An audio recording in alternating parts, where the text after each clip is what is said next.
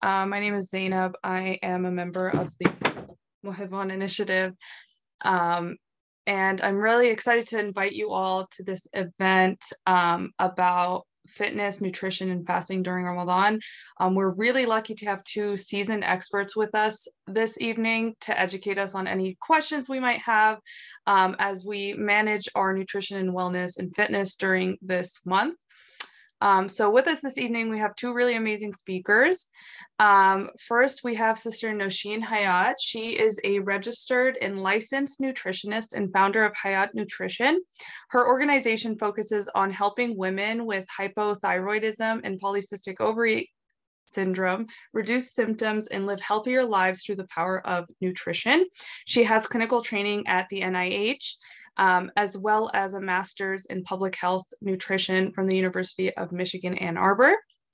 And then we also have a fitness expert with us this evening, um, and that is Reza Mofarrahi. He is the owner and co-founder of Neural Movement, which is a fitness company geared towards improving health and wellness by focusing on the nervous system and bridging the gap between cognitive and physical development.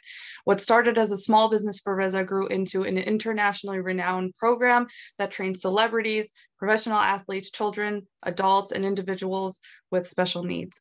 Um, so we're very excited and lucky to have both of them here with us this evening. Um, before I pass it off to our speakers, I just want to remind everybody of the event format.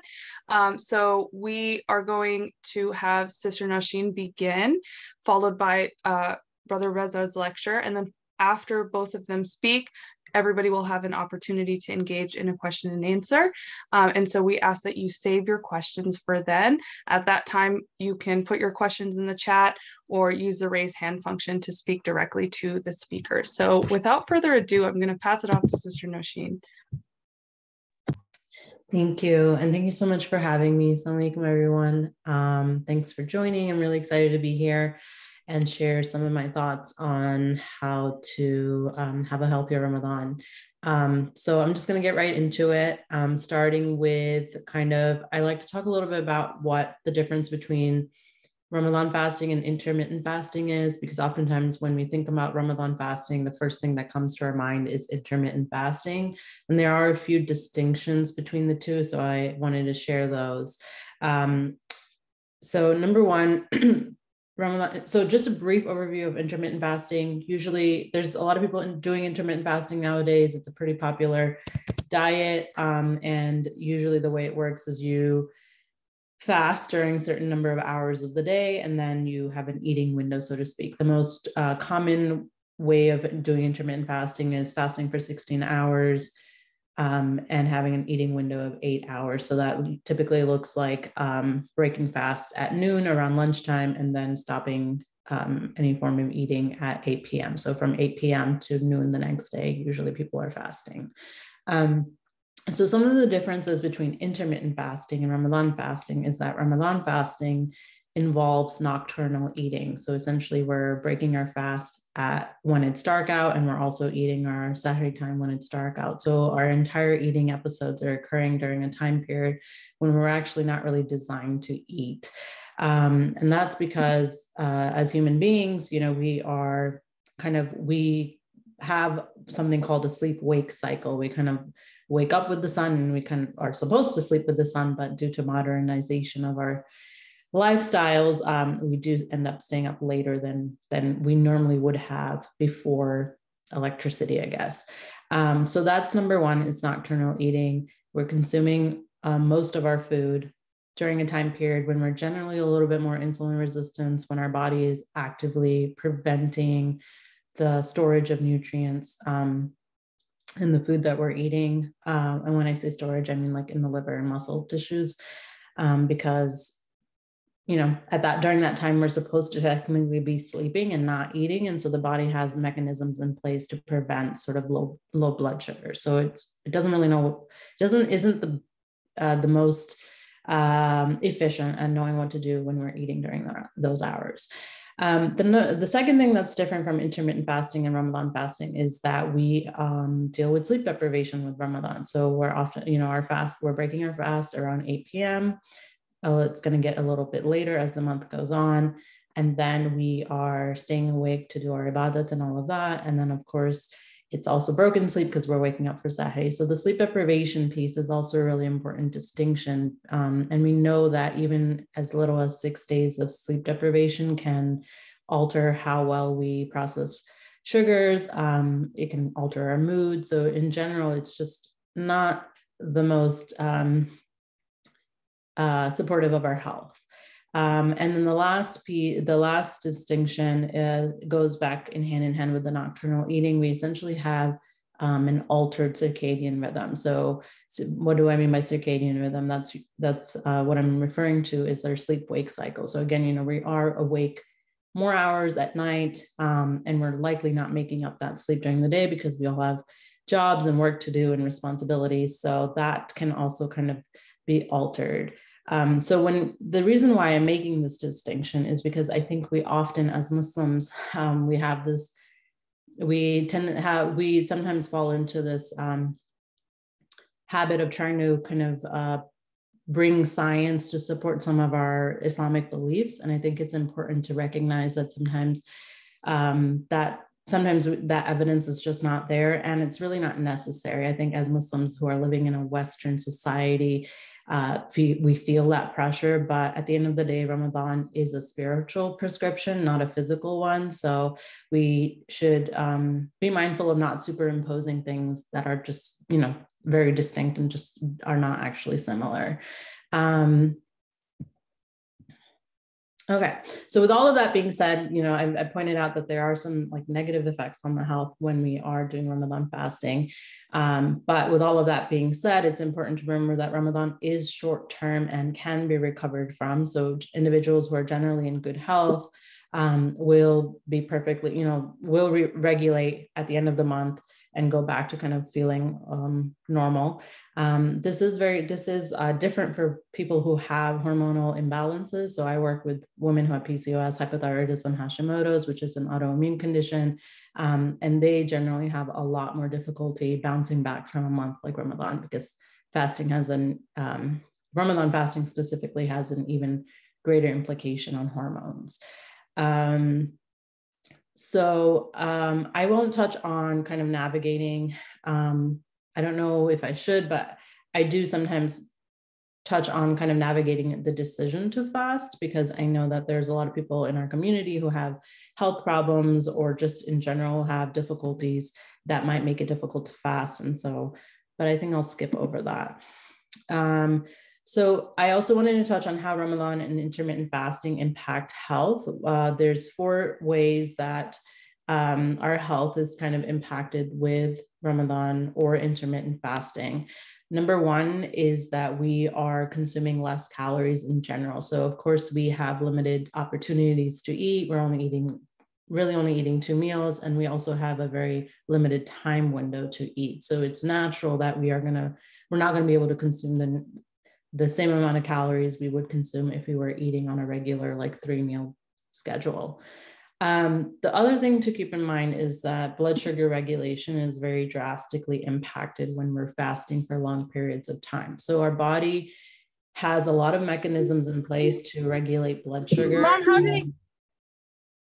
to regulate blood sugar when there are instances when we can't eat. So number one, we put away a lot of sugar in our liver and the liver will release that sugar when we go long periods without eating um, to balance our blood sugar. And then the next, once the liver is depleted of sugar, then our body taps into stress hormones. And we are very consistently tapping into stress hormones to balance our blood sugar when we're fasting because we are fasting for like about 14 hours. And previously, previous years, we've fasted for much longer than that. Um, so blood sugar regulation, again, I am coming from a hormonal imbalance perspective. So that blood sugar regulation piece can be a little bit more difficult for people who have hormonal imbalances or people who have prediabetes or diabetes as well. Um, because we are also ha- we also have less instances of eating episodes um, and just generally like a restricted feeding time we also will naturally just get less nutrients because we're competing and then i'll talk a little bit about how to prioritize certain foods to hit most of your nutrients when you're fasting. But if you're not being proactive about the choices that you're making, it's very likely that you're missing out on some important nutrients when you're fasting. And then I already touched on how sleep deprivation can impact blood sugar regulation and just mood and all around um, can negatively impact our health as well. Um, so I'll talk now a little bit about some tips to focus on during Ramadan to support your health. Um, so number one is waking up for Sahari, which I know is a struggle for some of us. Some of us would rather sleep than to eat. I would say if you're generally in good health and you don't have any specific conditions that you're dealing with, I think that you really could get away with not waking up for Sahari. But of course, we know it's sunnah to do that. So of course, if we can, we should. Um, but if you are dealing with some specific health conditions, um, you're really want going to want to prioritize the Sahari because you know it's one of two eating episodes, and that's how you're going to support your liver function, get in, uh, refill your glycogen stores, and just be able to get yourself through the day. Um, number two is hydrate smarter. So a lot of people seem to think that just drinking more water is hydration, but hydration is really actually electrolyte electrolyte replenishment. So electrolytes are sodium, potassium, calcium. Um, these are all really important electrolytes um, or minerals. And when we just drink water, we're actually not um, hydrating ourselves appropriately. When we are dehydrated, it's not just fluid that's kind of out of flux, um, it's also electrolytes. So I'm going to touch on um, I'm going to touch on a few recommendations on how to hydrate smarter. Just want to make sure I have that information. Um, actually, I can talk about it now.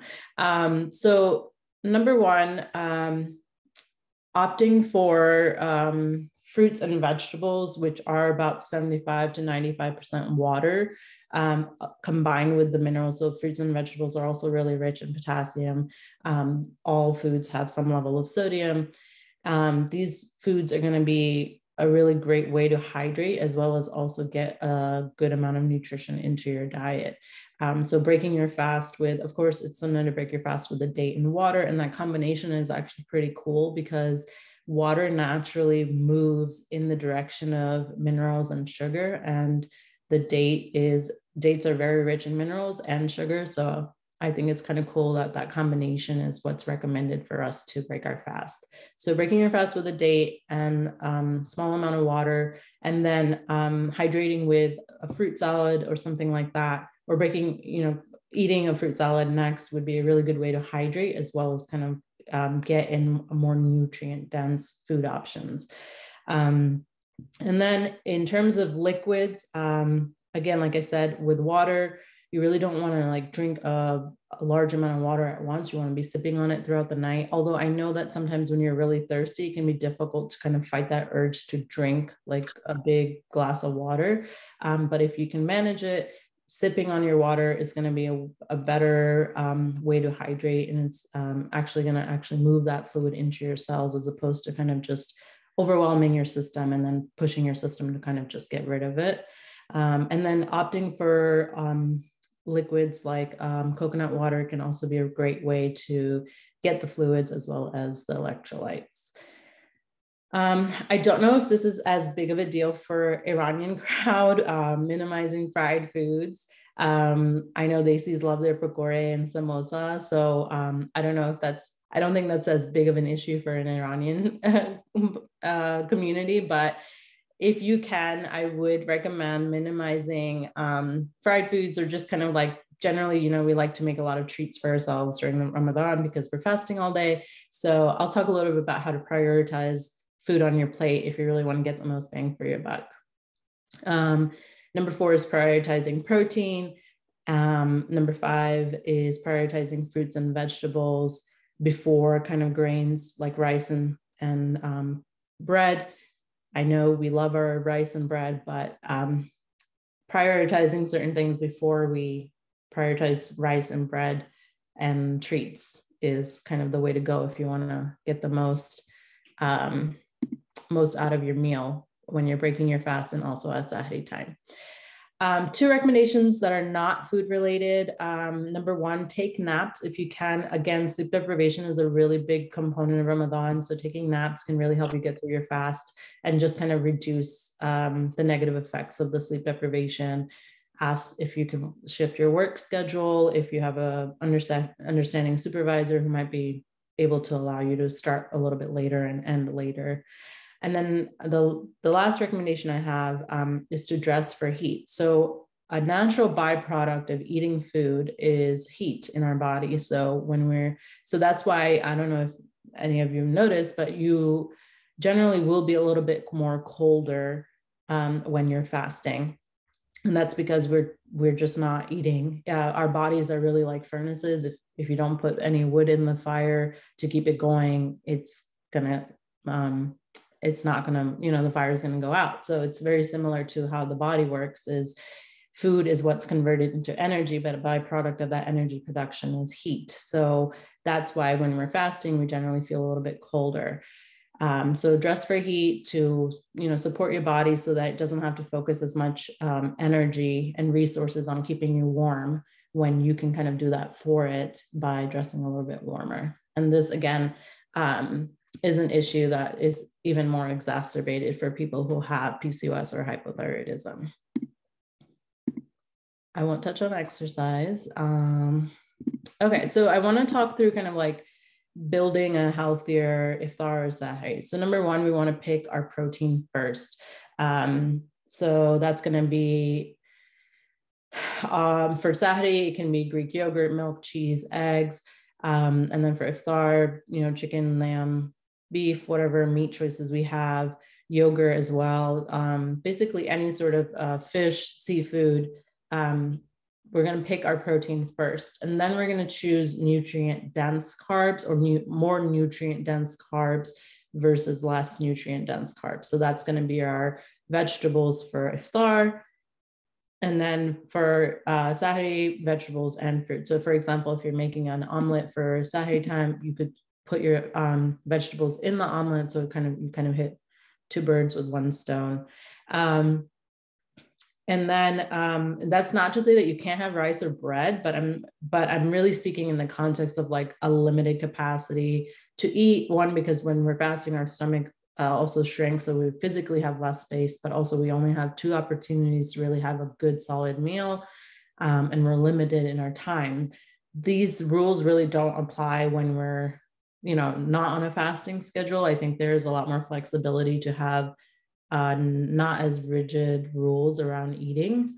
Um, and i really don't like to promote rigid food rules but again you know we're trying to get the most bang for our buck when it comes to the two times that we're going to eat during ramadan. So um, so yeah so pr- pick your protein first then choose your nutrient dense carbs it's going to be fruits and vegetables. Um, and then um, and then you can uh, put your treats, rice, bread, and treats um, on your plate as well. For Sahri, I do encourage you to include a smoothie as a daily part of, uh, you know, every day because it's a really great way to get a lot more nutrients in without having to eat a lot more food. So um, a smoothie can look as simple as a cup of milk, your fruit of choice. Um, you could add in some collagen for added protein um, a little bit of honey, and then mix it all up. And and you and that's a really solid way to get in more calcium, mag, magnesium, protein, um, zinc, copper, a lot of nutrients that you would really have to work hard to eat from whole solid foods. So for um, iftar, for breaking fast, I talked about this already, but you really want to uh, you want to break your fast with a date and water, and then you want to prioritize something that's water um, rich. So fruit salad is a really good option. Um, and then I do have a hydrating drink. I can send the link for that if anybody's interested. It's basically a mixture of water, coconut water, a little bit of salt, um, and lemon, um, which provides some vitamin C. It's a great way to get your electrolytes um, and you guys can um, sip on it throughout the night. Um, again, with building a healthier iftar, you want to center your protein, your vegetables, then your grains, and then your treats. Um, one thing to keep in mind um, is I know that again, I'm I'm Pakistani, so I'm coming from a Pakistani background, and we have some things like chaat, which is like basically a chickpea tomato potato mixture. Um, but i know that um, in iranian culture there's a lot of lentils and beans in many of the dishes that you all make. So um, i just want to remind like i just want to make a point about that is that uh, lentils beans chickpeas um, are very hard to digest. So when we're in a situation where we're fasting and we're kind of trying to get the extract the most amount of nutrition out of the foods we consume, I would encourage you to minimize the amount of kind of like beans and lentils and chickpeas that we're consuming during this month because um, because they are hard to digest and it does take a lot more effort for the body to extract nutrients from these foods. And so if we're trying to kind of like make sure we're getting enough nutrition um, during this month, those I would save those foods for times when you're not kind of like competing against the clock. yeah, so those are all my tips. Um, thanks for listening. Great. Thank you so much. That was incredibly helpful. I learned so many things that I didn't even know why. Like, I didn't know why I get cold every day, but now I know. So, thank you so much. That was incredibly helpful. Just keep in mind, everybody, you're welcome to put your questions in the chat. Um, but now we're going to switch over to Reza for his presentation. All right. Assalamu Um, bear with me if I'm seem a little tired. I've had my coffee today, obviously, so kind of give it to me. Um, all right, so the question um, that was presented to me was how to maintain muscle mass uh, during Ramadan. Um, I had a little presentation. It's more for me than you guys, so I can keep my thoughts on track. Um, so looking at like the research on uh, maintaining muscle mass during Ramadan, specifically, uh, the research out there isn't very good, um, to be honest. So, um, as uh, Sister Nosheen was talking about, uh, Ramadan fasting is very different than some of the other fasting, right? So, all the research done on uh, sports performance or just uh, training in general during Ramadan is very like varied. Um, the conditions that surround Ramadan make it hard to to kind of do research on this stuff. For example, like are you're doing research during the shorter months of Ramadan when it's like, like in the wintertime when you don't have to fast as long or longer season? Uh, male versus female studies is sleep being controlled well on subjects and um, during uh, most of the research done on training uh, during Ramadan is done in the Middle East, and they're not very good at keeping track of like the population groups, like whether these are like professional athletes or obese individuals. So um, those factors kind of play into the research, which makes it hard to kind of determine um, what exactly happens uh, to your body during Ramadan specifically um, when you're trying to train. Uh, what does the research show us uh, that I've seen from what I've looked at is that um, specifically during uh, Ramadan fasting, strength does decrease, um, which obviously makes sense because muscles are made up of like 75% water, so you're dehydrated. Um, you're not getting as much protein in. So all these things um, play factors into like how well your muscles are contracting while you're working out. Um, and then uh, there aren't a lot of studies that show uh, what the results are like if you continue training during Ramadan, like post Ramadan, when you are going back to your normal routine, how does that like performance spike? Um, I've seen a couple research articles on this. Uh, one that was pretty interesting was done on soccer players um, during Ramadan. They were looking at how well uh, the, their performance was post Ramadan after they did um, training during uh, fasting. And they had two different groups. One, they had kind of like a tapered uh, strength training um, routine going on with them. And then the other one was uh, just kind of like their regular routine. The tapered, like kind of tapering off the strength training uh, showed really good results and significant improvements in strength and power for the soccer players. Um, I also came across another study a while back uh, where they just took like regular individuals and they did studies on um, like muscle contraction.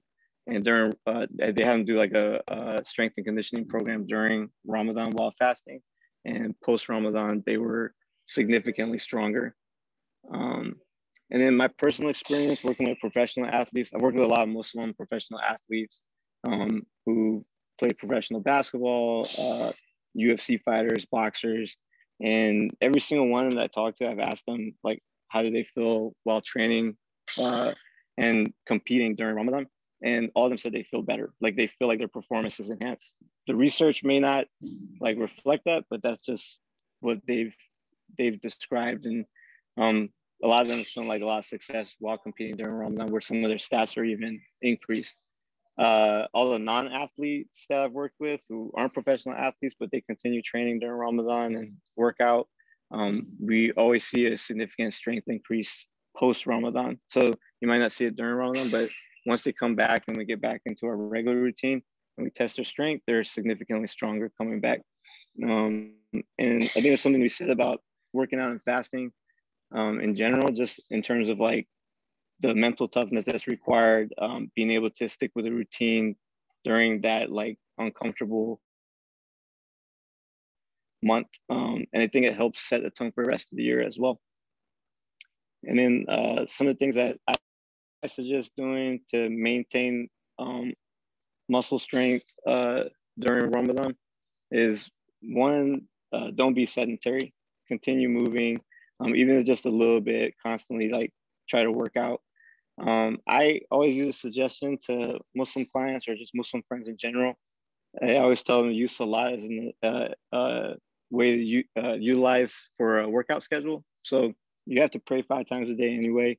Um, might as well, like, as soon as you're done with prayer, just bang out a couple push ups, a couple mountain climbers right afterwards. I think it's really interesting that out of all the other religions, we have to move during our Salah. And uh, that's very unique compared to like other all the other um, faiths. Uh, let's see, and make sure you get enough sleep. Um, sleep has a big impact on muscle growth. And uh, just like Sister Nosheen said, eat healthy, stay away from junk food. And then when you are doing strength training, focus on eccentric movements. So there's three different ways that your muscles contract. There's concentric, where the muscle shortens as it as it uh, tightens. There's uh, um, isometric, where the muscle doesn't change uh, length at all. So like this would be a concentric motion where the bicep is getting smaller. This is isometric where it's not changing. And then eccentric would be as it's extending out. So usually eccentric exercises are you're going against the resistance. So if you're bench pressing, it's like on the way down.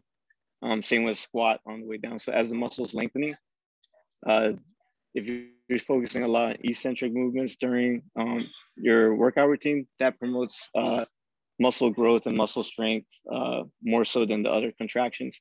Um, and all the research shows that you should hold that eccentric contraction for about five seconds to optimize um, muscle growth. But yeah, that's about it. Thank you so much, Reza. That was really amazing. Um, so we do have some questions um, that I'm going to go ahead and start reading off. Um, so Jalil asks, how many grams of protein do you need per body weight to maintain muscle mass? I imagine that question is for both of you. I'm curious to see what Brother is going to say. I'll let, I'll let you answer that. Just your realm. I mean, uh, my understanding of like uh, protein is that you can only your body can only absorb um, a certain amount in an hour. Uh, so was, I would assume it's hard to to take in high amounts of protein um, during the night. So I'm sure Sister Nosheen has more tips on like how you can do that. Yeah. So um, one thing about maintaining muscle mass while fasting is research does show that that's actually one thing that does go down with fasting. Um, so I think it's hard to kind of prevent a it's probably you could probably prevent a significant amount of muscle mass loss, but there's going to be some just by the very nature of, of what we're doing. Um, but I generally recommend about 35 to 40 grams of protein per meal, which can seem a lot um, for people who don't know how to prioritize protein in their meals. Um, so what that looks like, uh, for example, for Sahari, it could be, um, I think, uh, about so it's definitely, uh, I recommend two eggs every day for everybody because of the choline. Choline is really, really important for liver function. And so if you're, and eggs are really kind of the best way to get it unless everybody wants to start eating liver which i know nobody likes so um so i know nobody's going to do that so definitely um and two eggs is really not enough to meet your daily choline need but it's really does help you meet at least like 80% of it so if you were to do say uh, a planet meal like two large eggs um, one cup smoothie, which would include like collagen and a cup of milk. Um, if you wanted to add Greek yogurt, that would put it at about um, 40, 40 grams of protein. So I would recommend um, 35 to 40 grams of protein per meal. Um, and in general, you really, uh, for women, I recommend getting at least 80 grams a day um, in general. So with Ramadan, it's, you know, it's going to be hard to hit that um, unless you're like basically eating all night, which is not very comfortable. Um, so I think if you hit about 35 to 40, you can actually hit it if you add the two eating episodes, but that's that's my recommendation. Amazing. Um, so the next question is Do you have any recommendations on how to curb cravings for carbs? Yeah. Um, is that while fasting or in general? Yeah, while fasting and then during like this was my question. So um like um I understand it's important to look for nutrient dense carbs, but I feel like towards the end of the day when you're so hungry, you just want like a really good piece of bread to, yeah, eat. I mean, honestly, it's really hard for me to give very like rigid recommendations because that's just not my approach to nutrition um, in general, like outside of the context of Ramadan. But you're likely craving carbs because that's what the body craves when one it's hungry, right? So it's not necessarily that like oh you have some sort of issue where like specifically like your body wants carbs for some reason, like maybe you have insulin resistance or something. It's just because carbs are the preferred source of energy for our body. Um, just by the very nature of being hungry for 14 hours, that might be the first thing that it does is it craves carbs. So you might find that once you've broken your fast, your desire for for uh, something sweet might have gone away. Um, so it could just be a, you know, your body saying, "Hey, I'm hungry." Um, but even after you've broken your fast, you've had a meal, and you feel like, "Oh, I need something sweet," that could indicate other things. Like you know, it could be an indication of um, insulin resistance. It could mean you're not getting enough minerals. Maybe you didn't eat enough carbs for that meal. There's just so many different like reasons why it could be. But if we're talking about the context of fasting and Ramadan specifically, I really think it's just your body saying, Hey, I'm hungry. And the first signal that it knows how to send to us is for craving carbs. Um, and that's just because, you know, carbs is our preferred source of energy. That totally makes sense. I can comment on that. I totally feel that because I also like I feel like everybody craves carbs carbs above like everything else when you're hungry. And I try to when I break my fast like eat things that aren't carbs first because your stomach does get a lot smaller and then by the time I'm like a quarter through the plate of like protein and like fruit that I'm trying to eat, I'm like I still want like a piece of baklava, but there's no space for it anymore. yeah, yeah and then in a non-fasting world right we would be able to kind of accommodate for all of the choices that we want to make around food mm. awesome um, the next question is what's the eccentric eccentric aspect of a bicep curl and how do you emphasize it Reza, I think you're muted. Yeah, sorry about that. Um, yeah, so the eccentric, like I was saying, is when the muscle's lengthening. So on a bicep curl, if you're holding the dumbbells or whatever weight or bands, it's on the way down. So the way you could like emphasize that is take a, a very heavy band that you typically would not be able to lift up on your own um, with, with, uh, but with one arm and you lift up with two hands, right? And then slowly fight against the resistance, resistance coming down. Then you use your other hand, or if you have a spotter or you're working out with somebody, have them help you lift it up and then slowly go against the resistance and bring it back down. Um, like I was saying, the eccentric contraction is uh, shown to Im- improve um, uh, muscle size and, and strength um, more so than the other three, the other two contractions. Cool. Thank you. Um, so we have multiple questions about like good sources of vegetarian protein. You mentioned that beans, lentils are are difficult to digest. So other than eggs, is there anything that we can eat that might be a good source of protein? Yeah, I think just eggs and dairy are going to be your biggest um, sources for bioavailable protein. And then, of course, like if you if you are on a vegetarian diet, you really can't you you know you have to rely on some to some capacity rely on lentils and beans and, and chickpeas. But if you are doing that i would highly recommend that you soak and sprout your lentils and beans um, because that makes them much more digestible um, than just kind of taking them out of the bag and putting them in a pressure cooker. Got it. Could you elaborate on like the types of dairy? Like can we eat pizza you know. Cheese and yogurt. Greek yogurt has more protein than regular yogurt. Um, so opting for that can be helpful. Um, I don't really know any other kinds of dairy. Any kind of cheese, honestly, works. Um, but if you do a combination of that and with eggs, you you could um, get about. And then also there's nuts and seeds, but against that again that bioavailability and digestibility piece is still a problem. So soaking your um, soaking your nuts and seeds as well is helpful for increasing their digestibility. Awesome. Um, what does a 35 to 40 gram of protein look like for a chicken breast? Yeah, so um, about three ounces of chicken breast, which is like the size of your palm, is 25 uh, grams of protein. So four ounces is about 35. So I think just slightly bigger than the size of your palm would give you about 35 grams. Awesome, thank you. So uh, the next question is from Marzia. She's asking, how do you recommend we adjust workouts during Ramadan? Should we decrease the number of days per week or focus on strength versus cardio or so on? Um, honestly, depends on what you're trying to do uh, and like what you can handle. My recommendation is like three times a week, um, and just do slow like weightlifting just to maintain that muscle strength and like I said, just keep moving. Um, like I don't like overdo it myself or, or like with clients um, during Ramadan. Uh, I think doing like a moderate cardio exercise um, while fasting is a good way to kind of like, you know, drop pounds, lose some weight.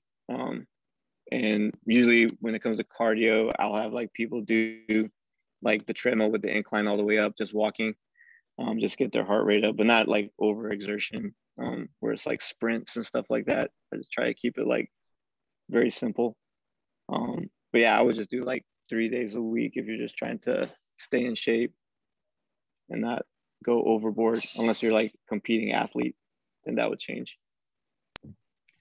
Um, just to follow up on that, is there a particular time of day that works best? Like, should we be working out after we break our fast, before, in the morning, during, after suhoor, before suhoor?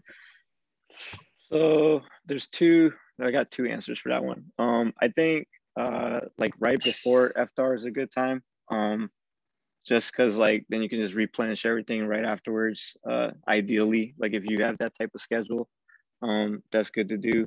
Uh, some of the other research that I was looking at in terms of like um, when it comes to like sports performance and stuff, uh, when it comes to fasting uh, and working out, um, they would see these huge uh, increases, like I said, in in um, in strength and power uh, post Ramadan. And um, some of the theories behind that was that um, while you're fasting, your body is basically being starved, right? So you kind of think of it as a, a bell-shaped like graph where um, we get to a certain point during the day and then because our bodies are like thinking okay we're starving we need to find food they start working at like an optimum level right? So that's why you can kind of like smell things from far away and uh, you kind of feel like you're in the zone right? And then right afterwards it just crashes right? And you're just like feel like you're you know underwater. Um if you kind of like hit that that optimum point of the day when you're uh you know, feeling like at your best, you you kind of think it's like that's when your muscles are going to be contracting the best. That's the when your body's going to be processing everything really well. Um, so you might get really strong gains during your workout um, during that time.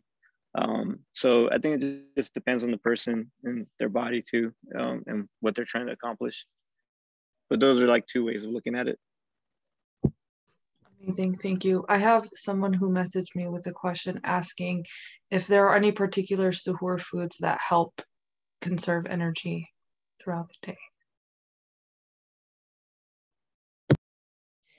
Um, I don't think there's any one particular food, um, but really you want to just prioritize the things I've talked about: the protein, the fruits and vegetables, um, the smoothie, um, replenish your liver sugar store so you can balance your blood sugar for at least up to six hours after um, after you eat.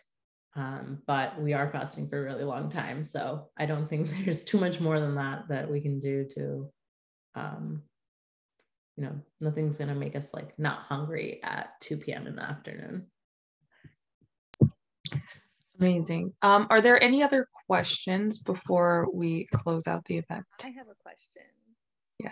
less, I mean, I don't know how where water falls on nutrition, but how much water do you actually need? Because I barely drink water on a regular day. And then in Ramadan, it is so hard for me to get in the amount that you're supposed to have between iftar and suhoor, especially because I don't wake up for suhoor anyway. So I do end up chugging, and then like it's just you would just end up getting up to pee a lot. It's just like I'm like this is not working. I feel okay, like I feel dehydrated, but also like I know drinking a lot of water is supposed to be really good for you, but like how much do you really need? Yeah, that's a that's one of my favorite questions because um, the eight glasses a day is actually there's really no evidence for it. Um, so what, when it comes to my clients, I always say drink to thirst. I have a lot of clients who come to me and they're carrying these like ginormous bottles around. Um, and there is such a thing as drinking too much water. So you really just want to base it off of thirst oftentimes when you drink too much water it can actually make you more thirsty because again you're not replenishing electrolytes you're replenishing fluid which is going to throw off a lot of things in your in your system. So even if you're drinking enough water you might actually still feel very thirsty. So i just say drink to thirst. Of course you want to also be mindful of um, i know some people just like don't have like thirst radar whatsoever and they're like literally could be dehydrated all day long and they just like don't even realize it. So it's also important to keep in mind, um, just like keep an eye on your like urine color. If it's too dark, you are likely dehydrated, and you know most of us will be dehydrated to some extent while we're fasting. Um, but you, I, I don't think that you need to like feel pressure to drink like 64 ounces of fluid before the night's over. I feel better about that. Thank you. Thank you. Um, Brother Diego, uh, do you have a question? Yes, Sonic, I'm Assalamu alaikum Um, so I'm actually, I just, uh, this week I just began uh, my uh, workout for 90 day transformation. Um, I, I wanted to ask, what is the key in um, like just burning fat? Um, because like um, I'm working on uh, doing things in moderation and, and being consistent, but I, I'm just having struggles with like getting myself to my ideal body image. So, is there any recommendations for um, for exercising? Um, uh, yeah. So, um, in terms of burning fat, like I was saying during Ramadan, you're gonna burn a lot of fat um, because your uh, glycogen stores in your muscles are depleted, right? So now your body's looking for other sources of energy to fuel the workout, and so it'll tend to, in some cases, burn fat, right? Um, as far as going for like the ideal body type, I mean, I that's all like you know depending on like what you're looking to do and in terms of your workout, um, and you know depending on what look you're going for, and you model the workout in terms of that, whether it's looks or performance or um, whatever. So it really is dependent on what your goals are. So well, the fact that we're not drinking as much water assists with burning fat? Because when I when I was exercising outside of Ramadan, I felt like I lost more weight because I was drinking more water. Um, I'll let Sister Nosheen I was really hoping you would take that one because I'm not really sure, but um, I don't think that if you were drinking more water, I I'm not really sure actually. Um, but just remember that some some weight that we lose is water weight.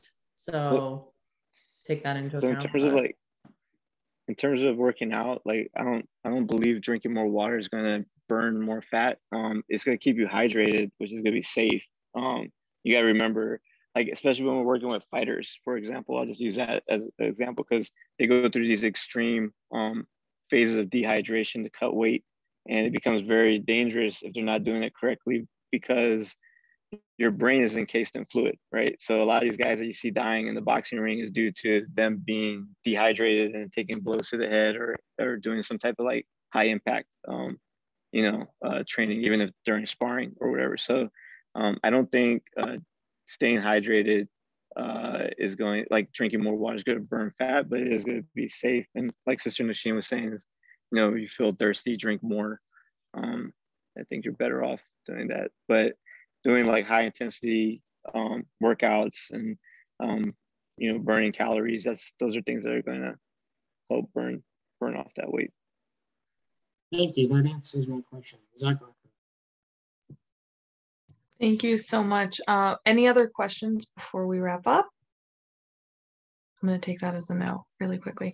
Um, First off, I want to thank our speakers for joining us this evening. I know you both have very busy schedules and it's Ramadan and you need to get home and eat and cook and all of these things. So we really appreciate your time.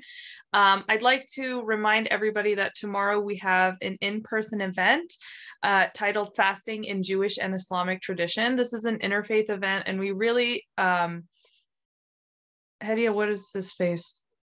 Is that not the event? Today is Tuesday. It's on Thursday. I'm sorry, guys. I I'm fasting and I studied all day, and it's not. It ain't here right now. Okay, so the event is on Thursday at 7 p.m. It's called Fasting in Jewish and Islamic Tradition. Don't show up at the masjid tomorrow. It's on Thursday, um, but we'll also have an online component as well, um, so you can join us there. Thank you for being here, Hedia, because that would not have been good.